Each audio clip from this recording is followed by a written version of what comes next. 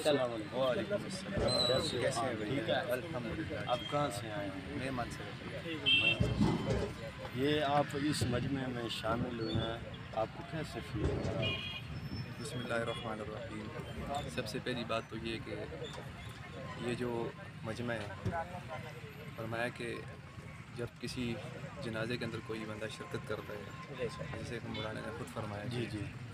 چالیس کی تعداد تک پہنچ جائے تو اس کی مفرت کر دی جاتی ہے۔ جی جی تو آپ خود سوچیں کہ ہزاروں لاکھوں کی تعداد میں یہاں پہ مجمع ہے۔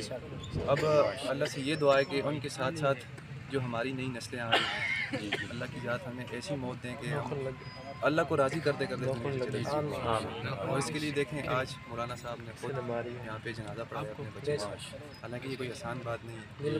ایک بوڑھا باپ ہو اور اس کا جوان بیٹا اس کے سامنے پڑا۔ ہو جی جی۔ تو آج تاکہ کل جیسے آج مولانا فخر کر رہے ہیں اپنی اولاد کے اوپر کل ہمارے والدین ہمارے اوپر فخر کریں کہ بھائی آج ہم نے اپنے اللہ کو راضی کر کے ہم تو تقریباً پچھلے پانچ چھ سال سے مولانا کے ساتھ ان کے مدرسے میں بہت ادھر ہی آپ پڑھتے تھے۔ ہم گرین ٹاؤن فیصل آباد میں پڑھتے ہیں۔ ہمارے تقریباً کوئی ڈھائی تین سو کے طلبا ہیں سارے ادھر ہیں۔ یہاں پہ دو شافی اور تھیں۔ ان کے بھی سارے کے سارے طلبا اس جنازے میں شرکت کیا تو بس آپ بھی اللہ سے دعا کریں کہ اللہ پاک اللہ تعالیٰ بخشش کو کریں مغفرت کریں دوست میں اللہ سے اور دوست میں اعلیٰ مقام بہت بہت شکریہ۔ تھینک یو السلام علیکم السلام علیکم وعلیکم السلام میرا نام غلام علی ہے جی میں مولانا صاحب کا پڑوسی ہوں ہمارے گھر کے ساتھ وہ ہمارے بھائی تھے بہت میں شرکت دیتے تھے غریبوں کا ہمدرد تھے بہت زیادہ خیال رکھتے تھے ہماری خوشی غمی میں شامل ہوتے تھے اپنی گاڑی میں بٹھاتے تھے بہت اچھے بہت غم ہے بہت دکھ ہے اس کی بہت زیادہ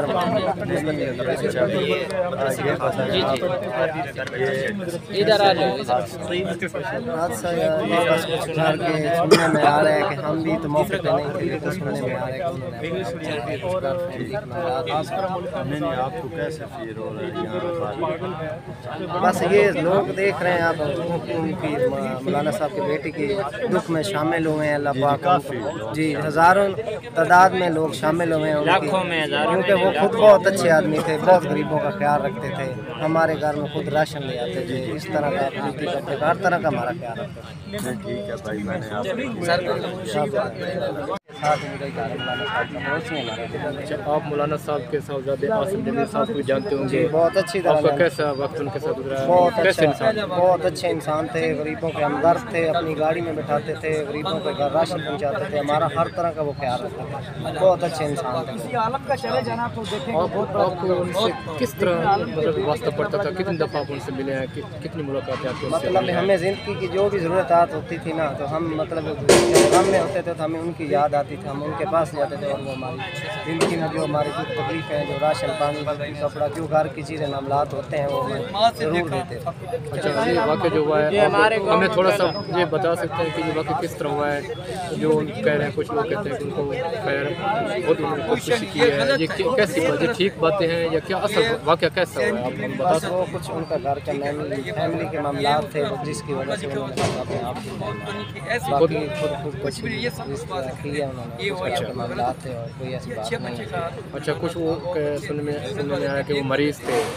مریض تھے۔ نہیں مریض نہیں تھے وہ ٹھیک ماشاء اللہ پریشان یہ پہلا واقعہ ہے شرکت پہلی دفعہ دیکھ لیں جو اتنی عوام ہے اتنی شرکت ہے۔ بہت دور دور سے لوگ آئے ہیں بہت دور سے آئے ہیں۔ اور ماشاء اللہ بہت پہلی دفعہ یہ جنازے گاہ میں لوگ شامل ہوئے ہیں شرکت یہ تقریباً میرے خیال میں ہزاروں میں لاکھوں میں لوگ۔ لاکھوں میں لوگ تھے۔ بہت دور ماشاء اللہ کافی شرکت آگے افسوس ہے بھائی بہت زیادہ افسوس ہے ہمارے بھائی قابل آپ ادھر میں کیا ہیں؟ جی ہم ادھر ہی جی ہم یہیں کے ہمارے گھر کے ٹھیک ہے بھائی جان اپنے